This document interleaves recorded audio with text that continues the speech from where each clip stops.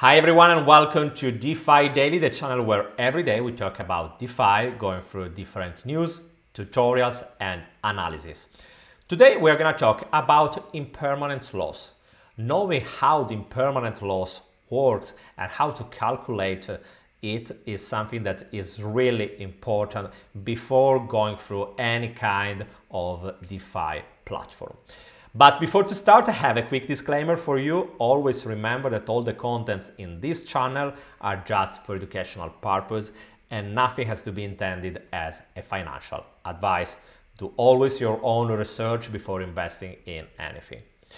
And if you are new to the channel, I also invite you to subscribe to be always updated to all the contents that I will go to publish day by day.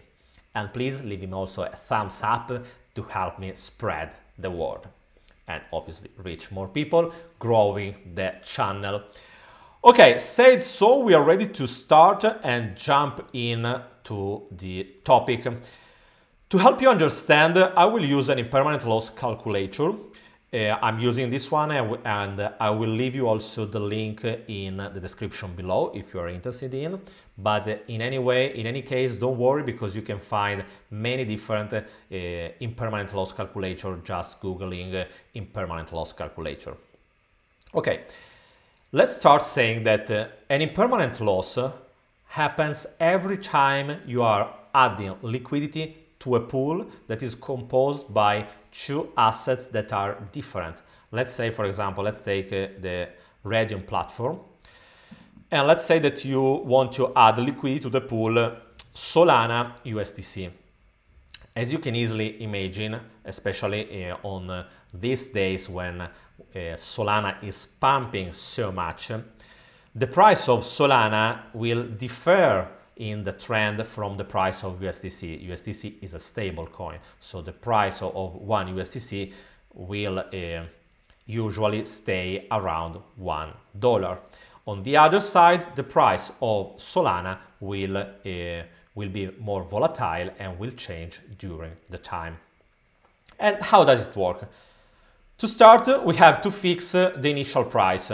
Just as an example, we can say the token A, uh, the first token is uh, a stable coin and it has a value of just uh, each token has a price of one dollar. On the other side, the second token is a token that has a, a price of $500. It's just uh, for an example. It, I'm not talking about uh, any specific token.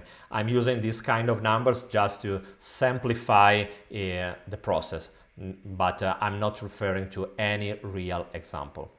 Okay, let's fix uh, the future price. Obviously, the price of the stablecoin will remain stable, so the price will, will stay always uh, around $1. On the other side, let's say that the price of the second token is skyrocketing like what just happened to the price of Solana. Let's say that the price goes up four times. In this case, the price of token B would reach 2000. To understand how the impermanent loss works, you have to remember that when you add tokens to a certain liquidity pools, you are not owing anymore any token, uh, any, any token of uh, Solana or USDC in this case. You are starting to own LP tokens.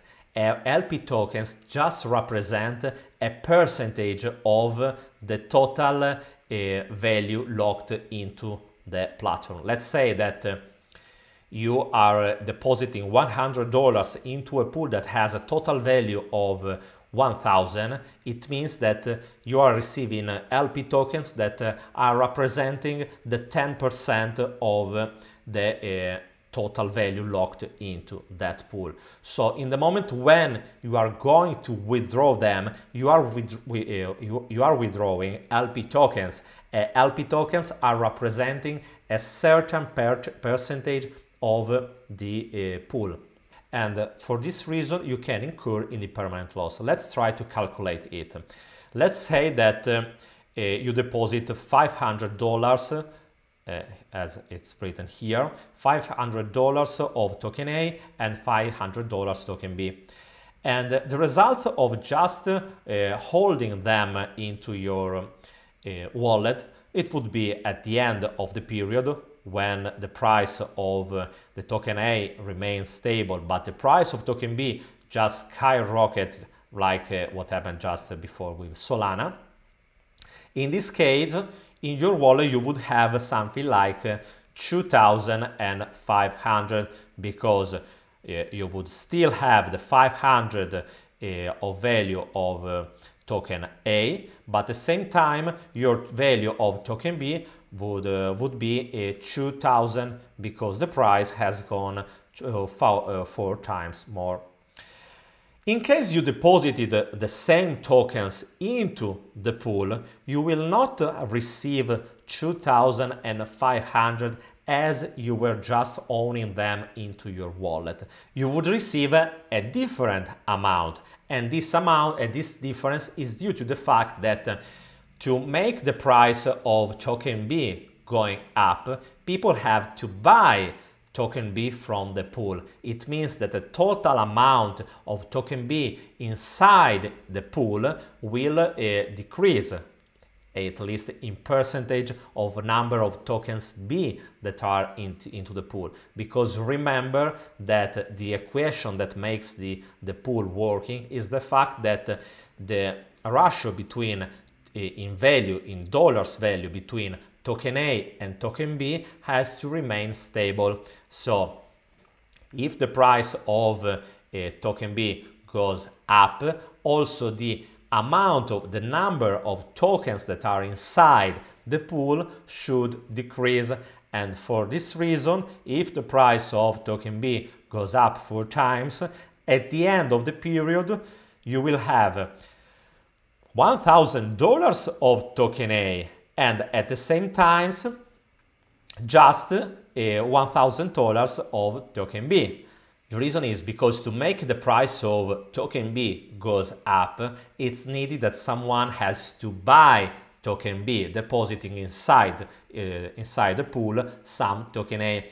And through this mechanism, at the end, you will incur in impermanent, in, in impermanent loss.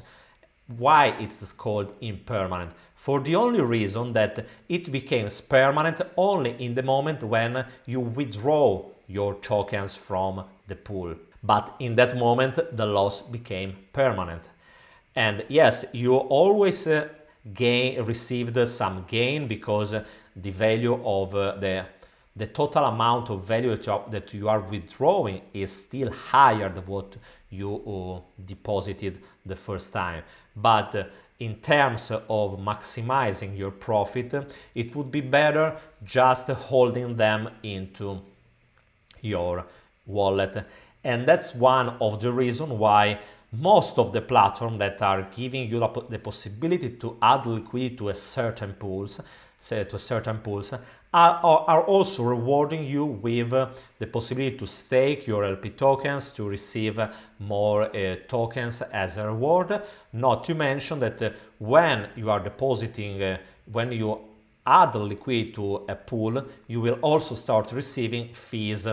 So all the mechanisms that are active to reward people that are adding liquidity to a certain pool are due to the fact that they are there to help you recover the potential loss that you are encountering just adding liquidity. In this example, the loss is around 20%.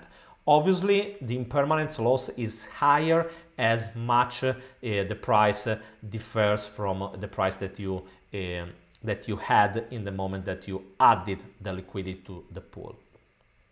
Okay, let's recap. The impermanent loss occurs every time you add liquidity to a pool that has two assets that are not stable. So the relationship between them is not stable. And uh, when you add liquidity, you are not owning anymore your tokens, your original tokens, but you are just owning an LP tokens that represent a certain per percentage of the pool. In the moment when you are withdrawing your uh, tokens, you are not withdrawing the same amount of tokens that you uh, deposited at the beginning, but you are re uh, receiving back a certain percentage, the corresponding percentage of your LP tokens. And uh, this can differ in value from just holding them into your wallet.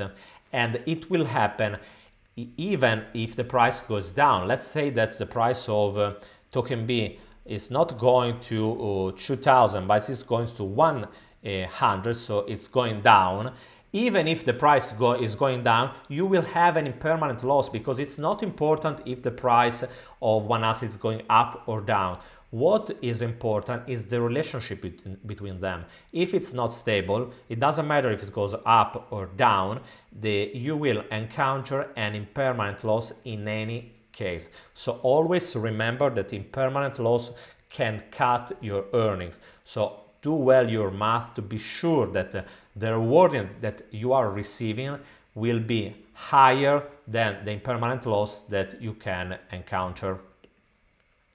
Okay guys, that's all for today. I hope that uh, right now is uh, clear the difference between just holding a token or adding them to a, liquidity pool and why you have to pay really close attention to the impermanent loss because could be a real loss, not impermanent, but a permanent loss that happen every time you are going to withdraw your money.